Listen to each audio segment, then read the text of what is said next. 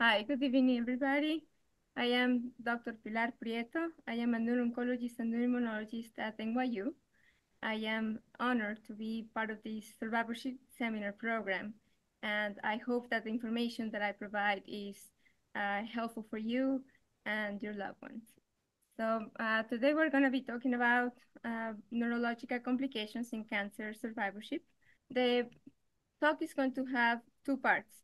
The first part is I'm going to talk about neurological uh, conditions associated with cancer and cancer therapies. And the second part of the talk is, uh, is going to be focused on survivorship interventions for maintenance of function and quality of life. Uh, neurological conditions that can be associated with cancer and cancer therapies. Uh, we know that there's primary brain tumors that can affect uh, the neurological status of people and um, and also uh, cancer you know, from different parts of the body that can go into the brain. Uh, we have patients that have radiation to the brain and that can cause treatment complications. Uh, many of our patients go to uh, uh, through chemotherapy and develop chemo brain. Autoimmune disorders and that can affect the, the nervous system, such as paraneoplastic syndromes, which are becoming uh, better identified nowadays and complications from immunotherapies, which are becoming also more frequent as we use more immunotherapies. Uh, peripheral neuropathy, which uh, Dr. Merc uh, uh, Mercado provided a really, really good uh, talk uh, last year, and other complications. so primary brain tumors and metastases. from the brain tumors, we have low-grade gliomas, high-grade gliomas, for most common ones, and but we have many others. And from the metastases, uh, they can go to the brain, they can go to the spine, uh, and they can also spread through the spinal fluid. The symptoms depend on where they affect in the nervous system. Uh, some patients can have headaches, seizures, weakness, sensory changes, loss of balance, memory difficulties, speech, and, uh, and many others. Uh, the treatment for some of these conditions can include surgery, radiation, chemotherapy, immunotherapy, and tyrosine kinase inhibitors, which and other newer medications. And from all these treatments and conditions, people can have memory deficits, uh, they can develop radiation necrosis, fatigue, neuro deficits, sensory changes, weakness, difficulty walking, um, vision changes, and so forth. So radiation treatment uh, complications usually presents with memory deficits. and we can also do, uh, for these patients going to rehab, they can present with headaches. And, uh, and the definition for radiation necrosis, it's essentially a brain inflammation and swelling uh, that results from radiation therapy. Uh, it can be symptomatic or it can be asymptomatic. A lot of times we just see these on serial imaging for follow-up of the metastases. Uh, sometimes it can cause symptoms, seizures, headaches, memory uh, weakness, sensory changes, and um, and sometimes it's even some it can be worse than the actual uh, metastasis itself. Uh, thankfully, we have uh, treatments that can help with the swelling and also some of the uh, process behind it, uh, which targets the uh, abnormalities in the blood vessels, so the, the those blood vessels are not as leaky. Um, if that doesn't work, sometimes we can use laser ablation or remove that area that is causing problems. Uh, it's the treatment is personalized, it's different in every patient, and uh, uh, but it's always uh, good to be aware that uh, with radiation therapy to the brain, that is a possibility. Some of these uh, complications with radiation can also be exacerbated by immunotherapies like checkpoint inhibitors, because they stimulate the immune system and it can make it, it can increase inflammation. Uh, chemobrain uh, is a poorly understood condition, but it's very prevalent in people that undergo chemotherapy. Uh, most people complain of short-term memory, difficulty with word finding, reduced attention and span and concentration, slow processing, difficulty multitasking, and these symptoms, which are vague and invisible to other people uh, can lead to depression, uh, loss of job, uh, social withdrawal, affects the quality of life, and uh, and and, uh, and it can. Um, uh, I'm sorry, I can't hear echo here. And we need to evaluate for these uh, symptoms and take them seriously. First of all, we need to make sure that the that the the cause or the symptoms are not exacerbated or caused by depression and anxiety, lack of sleep, thyroid disease, hormonal imbalance, lipid disorders, uh, subseizure activity or medications. How can we cope with chemo brain? One of, one of the most important strategies is cognitive rehabilitation. This involves working with a therapist and neuropsychologist to improve memory, attention, and problem-solving skills. Uh, some techniques that you can use, and depending on what you're struggling with, is keeping a diary, um, uh, using the smartphone apps or reminder and alarms. Um, make sure that you always keep the keys in the same place. Make sure that you always have uh, an organized lab as much as possible. And also, it's uh, it helps to keep like little post-its sometimes. So it depends on what you're struggling with. Very important is mindfulness and stress management. Uh, when we are overwhelmed, uh, our brain is running in in, um, in crisis mode, and some you know, when it runs in crisis mode for a long time, it's difficult to keep that level of focus. So taking a taking a step back, taking breaks uh, intermittently, five minute break in between hours or 10 minute break, walking around, uh, that helps uh, clearing the mind as well. Breathing exercises also help uh, significantly. Keeping a healthy lifestyle, having a balanced diet, the only diet that has been proven to have some impact in the cognitive uh, function of people is the Mediterranean diet. Um, and, uh, and physical exercise, which I, I'm going to talk a little more about later. Medication management. Always talk to your doctor and your pharmacist about the medications you're taking. Sometimes um, we're taking too many medications and uh, or if you're being seen by multiple physicians, that list just keeps adding up.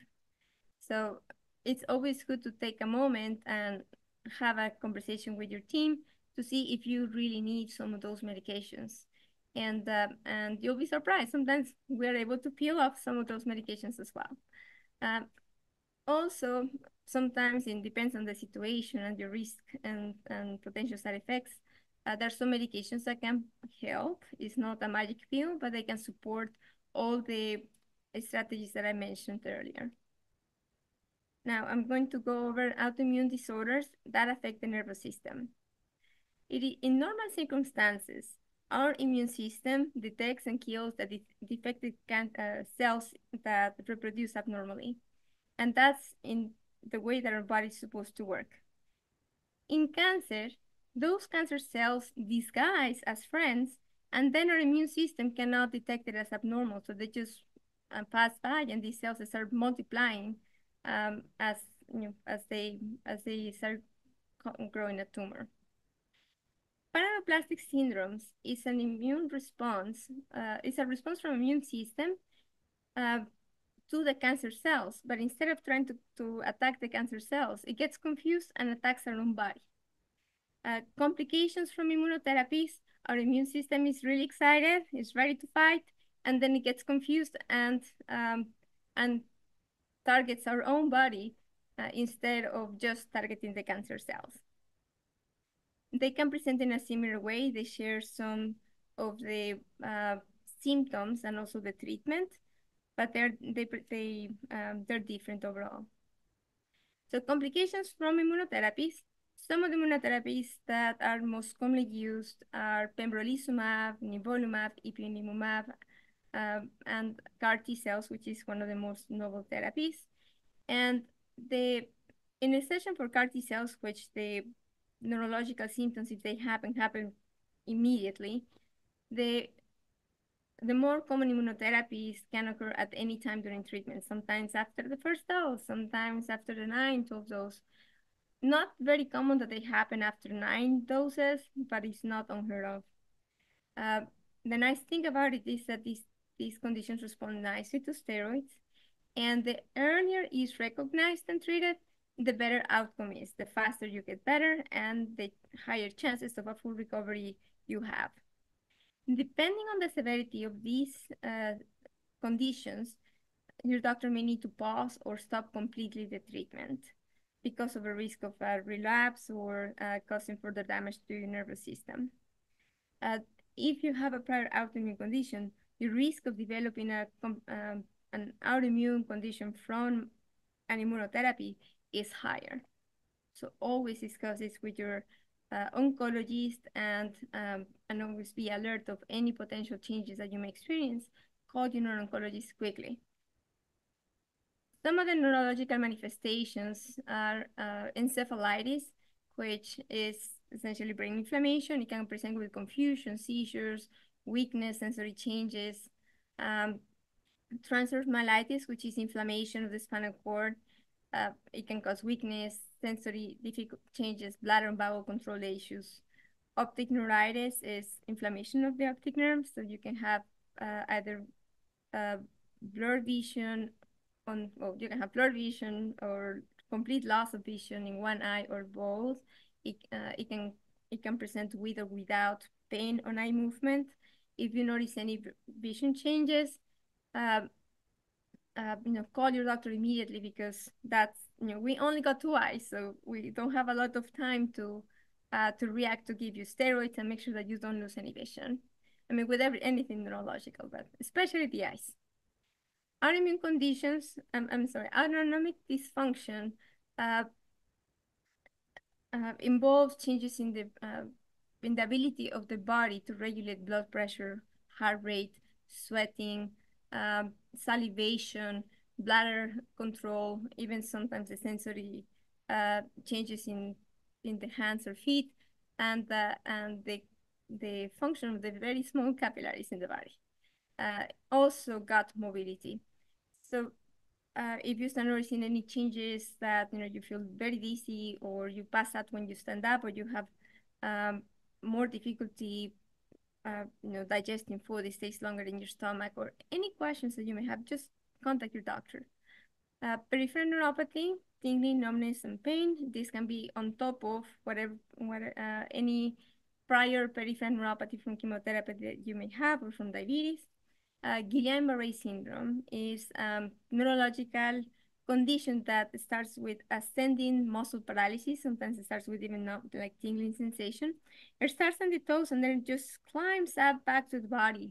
If not detected and treatment on time, it can lead to complete paralysis, including the diaphragm, so people end up being on a ventilator. Um, if detected on time, uh, you know, treatment can be can be given.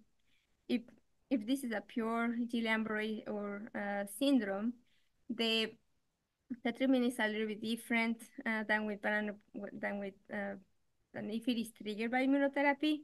Uh, if it is triggered by immunotherapy, it responds beautifully to steroids. But don't worry about that. Your neurologist uh, will know how to manage this. Myasthenia gravis uh, is is a syndrome that causes uh, progressive fatigability of the muscles.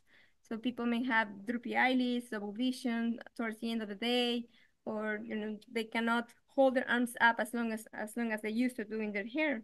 You know they start kind of just dropping, uh, or they're unable to keep up with the stairs that they did before because their legs are really weak. Um, and then rest for a little bit, and they're back to back to normal or better. Uh, so if you notice any of these, please call your your doctor and ask for a referral to neurology. And Hashimoto's encephalitis. This is um, an inflammation of the brain that is triggered by inflammation, uh, inflammatory or autoimmune disease to the thyroid. It can happen on people that are that um, that are on or or not on immunotherapies, and uh, and it can present with with confusion, seizures, uh, changes in personality as well, and also you know other autoimmune diseases that can um, be triggered that sometimes can have some neurological symptoms, includes lupus, uh, uh, Sjogren's, um, myositis, and rheumatoid arthritis. It you know, can cause some um, some nerve pain if it is compressing some of the nerve roots from inflammation. Um, now, paraneoplastic syndromes. Uh, these syndromes can affect any part of the nervous system, and they're typically uh, grouped in certain syndromes because of they have these stereotyped clinical manifestations. Uh, they can precede cancer diagnosis by two to three years, but also can present at the time of diagnosis or during the cancer treatment or uh, surveillance, indicating that there might be a relapse. Um, these, can, these syndromes can affect one out of 300 patients with cancer. Oftentimes it goes underdiagnosed or underreported because these are syndromes that are difficult, you know, start like very vague and they're difficult to detect. And there's, you know, there's increasing awareness about the syndromes uh, across the board, but it's not enough yet. But but we're getting better, which is good. We're spreading the word. And uh, and a very important point to make is that this is a diagnosis of exclusion. A lot of the symptoms but many other conditions, neurological and some of them not neurological. Uh, just keeping a high level of awareness and having a very open uh, communication with your team is very important. I'm not going to go in very detail, in great detail about this table, uh, but I just wanted to show that you know these paraneoplastic syndromes uh, can affect different areas in the brain. Uh, they have specific antibodies um, and um, that are associated with specific locations in the brain, and you know, and this serves also kind of understanding, you know, what what they uh, you know, what to expect with some of these, but you need to remember this. This is for your doctors.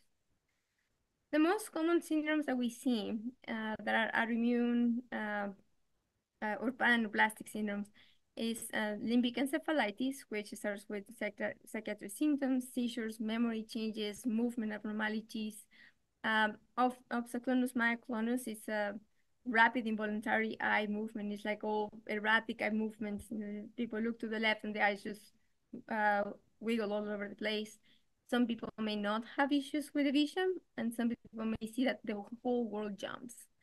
Um, this is also associated with uh, myoclonus, which is uh, abnormal movements of, uh, of the limbs. It can affect gait, it can affect um, uh, your coordination as well. Uh, stiff, stiff person syndrome is a generalized muscle stiffness and spasms, and, um, and it can be associated with or without cancer as well. Cerebellar degeneration affects the coordination, the balance, poor motor control, sometimes can cause some emotional uh, lability. You know, it's easy to cry and, and and, and laugh within the same minute. Uh, rapid progressive dementia is an accelerated cognitive dysfunction within two to three months. It's like very marked. Like almost every week you lose a, um, an important ability.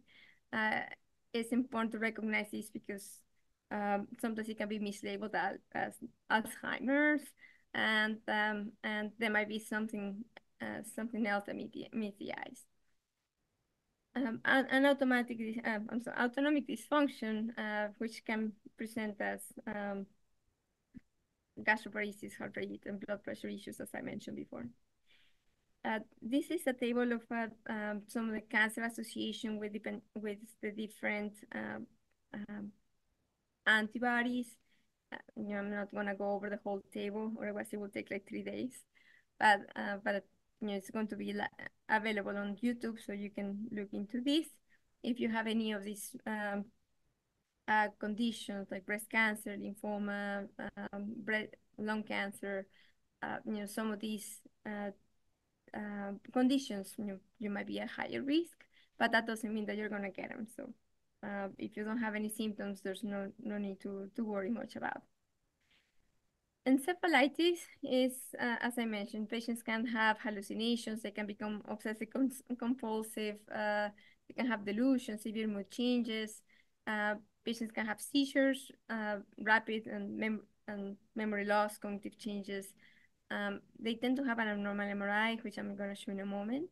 Uh, most of the time, we find antibodies either in the blood or in the spinal fluid, and uh, and it's a diagnosis of exclusion, but also we have we need to have like a high level of suspicion. So some of these uh, syndromes can be associated with cancer. Uh, one big exception is uh, NMDA receptor encephalitis, which uh, presents in typically in, in, young girls or young women that have an ovarian uh, teratoma, which is a, a benign tumor essentially of the ovaries. Once removed, the condition is cleared uh, a, a, very nice um, self, uh, well, like a memoir from a patient that experienced this condition. Uh, is Brain on Fire. They have the book and they have the the the movie, and it can it can show you how devastating some of these presentations can be. Uh, she was um, mm, she was successfully treated and she was able to go back to her previous job. So these are depending on the kind of encephalitis and the antibody that is affecting you, uh, you can have uh, different types of presentations. So this is an, what a normal brain MRI looks. We like to see a different shade of gray, grays. Uh, you know, here the colors are inverted, but we can see the cortex nicely and the and the white matter here nicely as well. These are the ventricles where the spinal fluid is created. And here we can see all the white areas that are uh, that have the arrow sign are uh, areas where you know there's abnormalities. So here's like limbic encephalitis. Here we have a GABA A receptor encephalitis. This is um, um uh, different kinds of encephalitis, I believe LGI1. So there's many different kinds of presentations, and depending where they affect, the symptoms are uh, uh, show up. The recovery. So it's tailored to the to the personal needs. It's multidisciplinary it involves rehabilitation, uh, physical, occupational, and cognitive and speech. So it's a whole, like, uh, uh, a holistic approach essentially. Uh, it involves oncology, psychiatry, neurology, intramedicine, neuroimmunology teams, and the, and the earliest is recognized, the, the earliest rehabilitation efforts are initiated, the better recovery. But it's important to have a lot of patience because the recovery can take up to two years, uh, sometimes months or two or two to three years to have a meaningful recovery. And you know, in the beginning or in the middle of it, you know, it's very easy to become discouraged and, and just give up. Uh, but you know, if we see a little bit of improvement, you know, there's still hope. Um, so the person can look really, really sick in the beginning, but eventually they come off the ventilator, they're able to rehabilitate and they're able to uh, have a more meaningful life. Uh, but it takes it takes a, it can take a long time. Uh, GAD65, which is uh, the antibody most commonly known for stiff person syndrome, it can also cause some, cause some encephalitis. Um, when it causes stiff person syndrome, it can respond to benzodiazepines. Um, and in this condition, it's very interesting because the muscles, you know, when we move our arm, you know, the biceps flex and the triceps relaxes. In the stiff pers person syndrome, both of the muscles are contracting at the same time. And, uh, and it can be very painful. It's an invisible condition. And, uh, and oftentimes people go undiagnosed and, and, uh, and uh, un misunderstood because it's it's hard to to uh, to understand. So you know, if, if you're noticing any changes, you know, you are always uh, entitled for a neurology consult. Um, it can also cause diabetes, and uh, because it can also attack the pancreas, and this can be uh, can present with or without cancer. Now, rapid cerebellar uh, progressive cerebellar syndrome essentially the cerebellum is degrading uh, or is being attacked by the immune system. And those cells that are very delicate, they start to die. So it causes coordination difficulties, gait difficulties. People feel drunk without drinking. And, uh, and sometimes it can also affect the brainstem. So swallowing difficulties can be an issue as well. Uh, there's some specific antibodies that have been uh, associated with most uh, commonly but there are other antibodies that we have not detected, or sometimes there can be a cross reactivity from other antibodies. Opsoclonus myoclonus, which I described, you know, these are uh, chaotic eye movements. And, you know, for, for these, um, sometimes they can have also like balance difficulties and coordination issues. And, um, and you know, there's, when it's paraneoplastic, it can in children can be associated with a neuroblastoma. In adults, it can be associated with uh, small cell lung cancer or breast cancer. Uh, the anti-Ri antibodies are the most common ones that cause these issues. And in young women, it can it can be a sign of ovarian teratomas uh, with or without the, the antibody, or I'm sorry, without the antibodies. Um, and sometimes it can be what we call idiopathic. You know, it could be immune-related, post-infectious, or you know, nobody knows, um, but you know needs needs treatment. Um, visual rehabilitation, multiple medications uh, may help. Um, sometimes they need to paralyze some of the eye muscles surgically so the person can see one and things are not jumping. It's, sometimes it would just require that the person just turns to see around, um, but it can improve quality of life. Sensory neuronopathy. Uh, it's very similar than peripheral neuropathy from cancer, uh, except that sometimes it can involve motor uh, deficits as well. Uh, it is a diagnosis of exclusion, so if there's no chemotherapy or radiation um, uh, associated nerve damage or any monoclonal, monoclonal gammopathy, as in some blood cancers, uh, any nutritional hormonal deficiencies or diabetes. Um, if everything else has been exhausted, then it's quite probable that this is a, uh, uh, one of these conditions. It could be exacerbated by immunotherapy and uh, and keeping a um, high level of suspicion is important. Uh, if it is paraneoplastic, you know, we may see some inflammatory changes in the spinal fluid, which is CSF. And it can also have more involvement. Uh, we need to have an EMG, which is a, a muscle test where uh, a needle gets to the muscle and, and records the muscle activity. It's, um, it's not a pleasant study, but it's necessary. Most people tolerate it fine, but it's better to be prepared.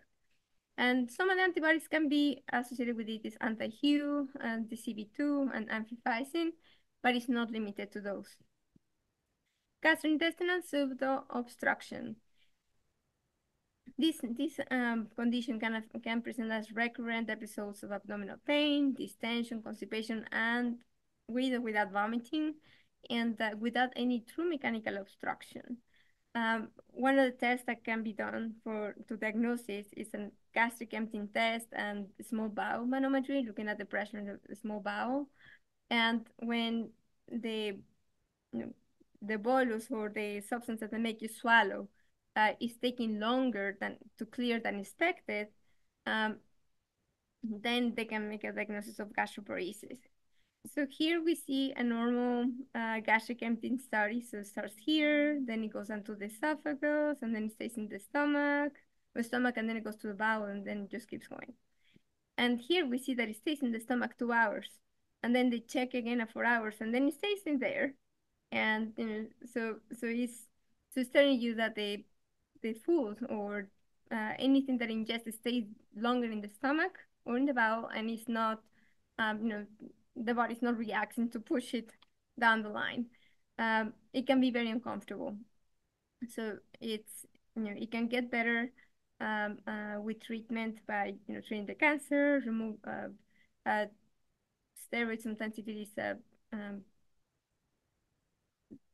due to, due to autoimmune disease, autoimmune uh, complications from immunotherapy. If the person has an anti-human antibody, can have a paraneoplastic origin and uh, and if the patient has an alpha acetylcholine receptor antibody, uh, it can be pre present with or without the cancer. So if things are really serious and literally your brain is on fire and uh, or the symptoms are rapidly progressing, uh, disabling, and or a high risk of disability, uh, the the team, your team may admit you to the hospital. I mean, if you're seizing, you're gonna be in the hospital in ICU. Uh, but the team may admit you to the hospital, may start steroids. If there's no response, they may filter your blood to remove all those antibodies that we suspect. Uh, if no response, they may give you something to um, to neutralize some of those antibodies. And if there's no response, uh, then we we uh, go for uh, for more powerful medications, uh, rituximab or cyclophosphamide, depending on the um, uh, situation. Sometimes we can use tocilizumab or anakinra that can also potentially help.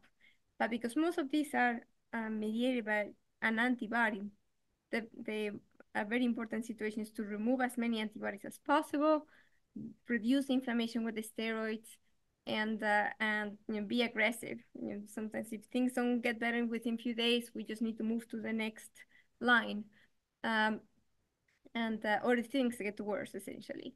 And then maintenance treatment you know, is planned with the uh, with your team. Um, so some of these uh, studies are are done depending on the situation. Some people make under, you know, if a cancer is found at that time, they just go for surgery or biopsy and then start treating while the person is still recovering. So it's it's um it's like the black hole of neurology, but it's fascinating. Not every neuro neurologist will say so. Um, and for these type of syndromes, uh, we follow a holistic approach, you know, depending on the clinical presentation, the testing, the risk factors of each person, uh, the treatment response, uh, what is the potential disability, uh, what other concomitant issues uh, that the person may have, you know, physical, social, uh, uh, treatment-wise as well. it's important to know that not everybody will have all the positive antibodies. And not all the antibodies mean cancer. So context is very, very important. And very importantly, recovery happens. Uh, it's important to have an expectation from the clinical team and you know, patient and family. You know, it's, it's a team effort. Uh, we need to make sure that the resources are available for recovery, therapies, uh, rehabilita cognitive rehabilitation, provide caregiver support, um, have an adequate follow-up plan after the hospital, and make sure that we have a maintenance of quality of life, which I'll talk a little more about it. Uh, we need to treat them, uh, the malignancy. If there's one, that's the root of the problem. If the, um, uh, you know, if we don't find the cancer at that time, we need to screen every six months to, uh, to make sure that we're not missing something. Sometimes it's a, um, it's a blessing in disguise because it's a warning event, but you know, uh, but sometimes we just have to wait until like two to three years screening until we find something. Uh, if the patient, you know, we need to keep a maintenance immunotherapy to allow things to cool down, uh, even after we treat the cancer. And paraneoplastic syndromes can also be a muscle recurrence. Uh, Lambert-Eaton syndrome is not, uh, it's, um, it's, um, uh, it starts with like progressive muscle weakness in the arms and legs. Um, you know, it starts, it, know, it's, it's a very interesting syndrome because people feel like weak to start movement, but as they move, they feel stronger and they get stronger. Even reflexes uh, get better. And uh, you can have dry mouth, there's some um, erectile dysfunction, constipation. Uh, this is confirmed by an EMG, the muscle study. And uh, patients may have a, a PQ type, uh, voltage calcium channel antibody, uh, in the majority of these syndromes, they're associated with cancer. Uh, there's also SOX1 antibodies that are associated with small cell lung cancer. Peripheral neuropathy, um, you know, some of these, I'm not gonna go in, in depth because you already got a really good talk about it. And, uh, but in the setting of cancer, most common cause is chemotherapy treatments, uh, platinum base, uh, taxanes and alkaloids. Uh, sometimes it's dose dependent, sometimes it can be transient, sometimes it can be permanent, and sometimes it can have a coasting effect, meaning that months after stopping the treatment with one of these uh, with some of these medications, uh, you start having neuro you know, peripheral neuropathy. You know, usually within like three to six months after, uh, you know, these symptoms can start. So if that's the case with you, you know, always discuss it with your doctor to uh, to have a, a full workup and, and find out the cause. Um, it can be aggravated by other conditions that can affect the, the small nerves. Uh, excess of vitamins uh, B6 or zinc without copper can uh, cause peripheral neuropathy.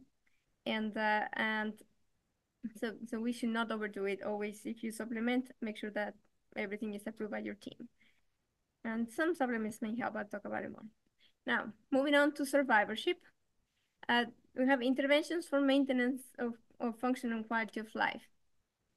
So this is you, and you are surrounded by uh, um, by a lot of people, and you have you, know, you may have at your disposal a lot of uh, resources that sometimes uh, we may not be aware of. And in order to keep you in the best status of health possible, you know, it may not be, we may not be able to get you back to where you were before. But if we can get you to like a really good place or the best place possible for as long as we can, uh, you know, it takes all these elements and maybe more uh, to get you back on track.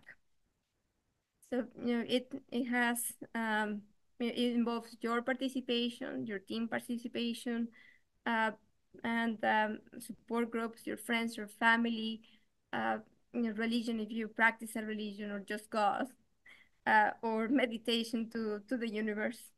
And, um, and um, but most importantly, you know, this is for you and and um, and you should you should make yourself the center of your of your care.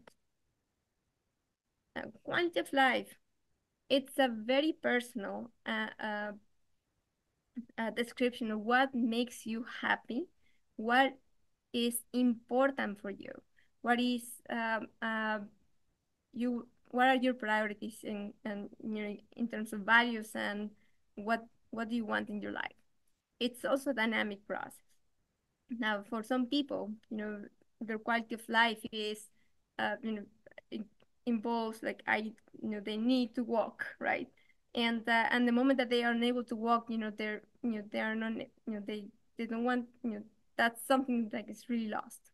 Uh, but sometimes, uh, you know, if they're unable to walk, they realize that okay, it's not as bad, you know, as long as I can see, right? So, uh, or for some people, quality of life is being able to spend time at home with their family and uh, and avoid being in hospital for as long as possible. For some people, is to live as long as possible, no matter what the condition is, um, uh, even if you are not unable to say uh, something if you're connected to machine. So all these things are very different and things can change over time. So, but voicing what is important for you um, allows us and allows your family and your team to to know what how are we going to focus on your care what's our goal and those goals can change and it's okay you know things are dynamic in these situations and also it's very important to have to try to have as uh, realistic expectations uh, it's not easy especially with this uh, uh, you know when one is diagnosed with cancer um, but if we get like small goals and you know we reach those goals, we celebrate. But you know we have like a okay an extra goal here, so that helps uh, keeping you engaged as well, and uh, and reduces the amount of frustration if you're not achieving this incredible goal. You know, uh, some people may have you know may may feel very debilitated. They may have a spinal cord tumor, and you know their goal is um, climb the Everest, and you know that may not may not happen, right? Uh, but but I think it's important to keep in to be as optimistic as possible, motivated as possible, but knowing that things may not go the way we want and we need to be adapted to it. It takes a village, so you got a whole team here that um, that is supporting you and also your your your family, your loved ones. Uh, things that you can do for yourself. Try to sleep well as much as you can depression management, it is okay to get help. Psychiatrists, psychologists, counselors can be of great help. Um, talking to family and friends is not all, I mean, it's amazing and I highly encourage it, but sometimes it does not allow you to truly open up because you don't want to burden them or worry them that you're feeling like that or make them feel that you're not appreciating, uh, you're not appreciating their efforts um, or you don't want to scare them. So it's easy to build in that those emotions. So uh, depression management is very important. Also, um, one thing that I recommend my patients is time crying. So you set up your alarm, you warm up your family and friends and people around you. I'm gonna have my moment. So you put like three minute alarm, five minute alarm, whatever you need. You get yourself to, to an area uh, where you, you know where it's private, you feel comfortable. Grab a pillow and then just beat the pillow as hard as you have. Ah! cry, curse as much as you can, everything that you gets your all those emotions out that you're that you're like keeping in your heart all day long. Once that alarm goes off, take a deep breath couple times, wash your face, keep on with your day. And, uh, and that should be, um, you know, that oftentimes helps you release some of those pressure. Uh, you know, eating well, exercise, and um, starting slow and steady and with consistency is key. And, uh, and you ask, ask your therapist for homework. Um, integrative medicine with acupuncture, music therapy, pet therapy, so, social support is very good. Uh, here's a little exercise um, tips on exercises. Uh, if your mobility is limited, you're at heart or falls, you can do exercises in the chair. Uh, you can do energy con conservation techniques. And if you're watching TV, you can always do mini workouts in, during the commercial. So commercial goes up, you work the arms. Uh, the next the uh, the next commercial break, do the legs, and uh, slowly you uh, you start building up stamina. There are different medications that can help. Uh, Miracle Berry can enhance taste. Uh, peripheral neuropathy can be uh, can be helped with medications, some ice chips if you're on oxaliplatin and carboplatin, heavy blanket at night. Uh, alpha lipoic acid can improve remyelination in the nerves, but it takes months and the urine smells really bad. Uh, it can be also uh, upsetting to the stomach, so make sure that you discuss this with your doctors. Uh, Ampyra uh, can help with energy mobility, originally a medication for MS, but sometimes it can help with cancer patients. And stimulants may help with attention and energy, but always talk to your doctors. Uh, neurocognitive rehabilitation. Uh, Rusk uh, has um, uh, an incredible neuro rehabilitation program. It focuses on different areas. Difficulty with speech, aphasia language, eye-hand coordination, swallowing, vestibular and balance rehabilitation, and, uh, and neuropsychology, they do initial evaluation in person, and then they can do the rehab either in person or online, which you know, is super helpful. Uh, they have locations, uh, Manhattan, Brooklyn, Long Island, and Florida for those snowbirds. Um, a great resource for at-home, self-paced rehabilitation, their apps.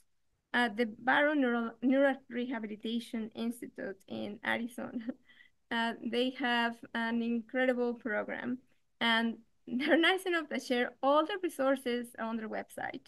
So this is just a little example of some of the apps that they recommend depending on the domain.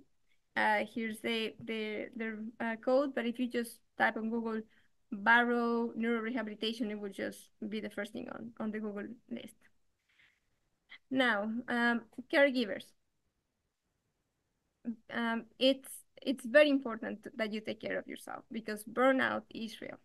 And this is, you know, it, it doesn't feel related to the, um, to the um, survivorship in neuro-oncology or in neurological complications, but it does have a lot to do because when somebody cannot think clearly or walk safely or do the things that they used to do or be as independent because of cognitive impairment or um, weakness on one side, it takes a big toll on the family. And um, and burnout is real. The, you know, people become progressively overwhelmed to the breaking point. And there's a lot of guilt because you know how are you going to take a break? They need you. Uh, you know they're they're having a horrible time. How can i enjoy myself?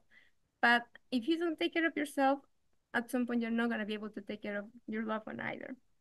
So it's okay to take a break it's okay to accept family and friends support from the beginning. Because if you keep saying no, they're going to stop asking. And when you really need it, that you know, um, it's hard to say I need help, but, but I'm sure they will be happy to do so. Um, stay social. Isolation is very frequent. And there's tons of caregiver support groups because they know what you're dealing with. Um, and social workers, uh, they have a lot of resources. So we have great support services at NYU. We have integrative health, nutrition, oncology rehab uh, groups, um, and counseling uh, uh, uh, as well, supportive care and survivorship programs of all sorts. These are some of the links and numbers for the for NYU. And here are some of the links for you know that could be helpful as well. GoodRx.com is to save you money, decreasing that uh, stress in your mind, and um, you know, NYU has incredible support. Uh, uh, the uh, National Cancer Society it also has great support, and Cancer Care has incredible links and support. So it, you know, I, I encourage you to, uh, you know, to you know, go on these websites and see if anything helps. it can last up to up to six months. Uh, most people start like feeling better, you know, uh, six months and, and after, but sometimes it can linger a little bit longer. Uh, it also depends on what kind of uh, medication you're on. So tyrosine kinase inhibitors, uh, you know, some of those are notorious to cause cognitive uh, deficits while you're on the medication, and those can be disabling. And you know, after you stop it, you know, they get better. Um, but it, it can take months sometimes. Uh, um, the, a lot of the symptoms from chemo brain, uh, the more classic one, it, they get better with with cognitive rehabilitation and coping strategies and managing that depression expectations. You know, it's easy to beat yourself up.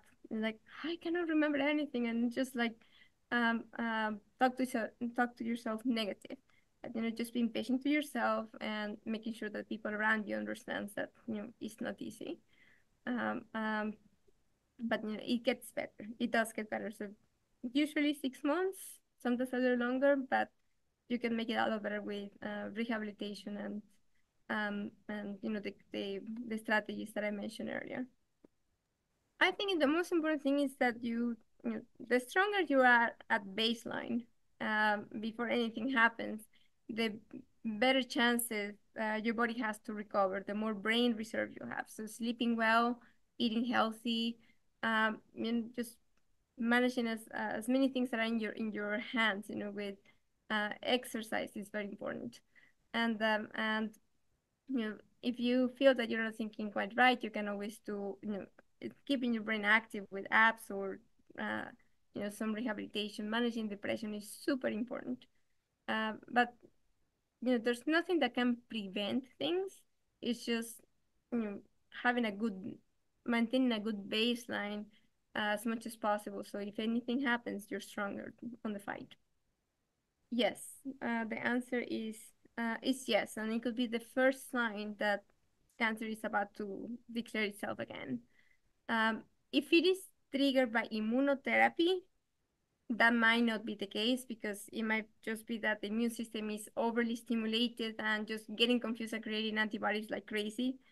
Uh, but if you're not on an immunotherapy or you're stable in immunotherapy and you know, um, uh, you know this you, you develop a, a, paraneoplastic syndrome, uh, you know, a much closer closer surveillance needs to be kept uh, to detect anything at the earliest sign of recurrence and, and nip it at the bud. So it's kind of a blessing in disguise. It's a warning. If there are new symptoms that are progress like neurological symptoms like headaches, double vision, numbness, tingling sensation, uh, walking difficulties, thinking uh, ability, or periods of confusion, something unusual that um, that is that just you know it's, it's hard to explain, but it's kind of getting worse or you know slowly progressing, um, and that you know that is just kind of insidious or you know your family notices something off uh, you know, that's when you can ask your doctor to, to, you know, to see if they can refer you to a neurologist, and then the neurologist will, can run a specific test depending on the symptoms that you may have. Well, in some cases, yes. Um, yes and no. So some mm. people can, can, there's some studies that are being done right now uh, on starting duloxetine uh, at the same time as medications that we know are are offensive to the peripheral nerves, like carboplatin, oxaliplatin especially, and uh, and or you know, other chemotherapies that are like poison to the tumor, but also for your nerves. And starting it early uh, may help prevent some of the uh, some of the symptoms or the severity of it, but it's not confirmed yet uh, scientifically. But there are trials based on that empirical experience. Um, and the, uh, the other technique that can help, especially in in uh, in some of these uh, taxanes um, based therapies or carboplatin too, is um, having ice chips in the mouth and also having like cold gloves in your hands and if you can tolerate in the in the feet or just like hold like uh, like two bottles of water like really really cold during the infusion. And that's supposed to help reducing the incidence and severity of the uh, of the peripheral neuropathy. It's, it's still, you know, there's like some early trials on that, uh, but it's an easy, cheap technique that you can try and see if that helps. Um, you know, for neuropathy, you know, most of the time is symptomatic management. Um, there's uh, acupuncture, there's some lidocaine patches, and um, I would refer to uh, uh, Dr. Monique Mercado, Mercado's lecture on, on chemotherapy-induced peripheral neuropathy, because she shares a great deal of uh, strategies on how to cope with it. Um, uh, sometimes these symptoms are permanent, and uh, sometimes they get better with steroids if, if treated uh, on time, but there might be some permanent nerve damage. Alpha lipoic acid can help rebuild some of that um, insulation around the nerves. It's called myelin that can help repair some of those nerves, but it takes months to years. Um, you know, having a, a, a good neurologist or especially a, a neuropalliative care specialist can get get uh, significant help for you. Uh, opioids don't help really for these kind of symptoms. Uh, it's more like things that reduce that nerve irritation.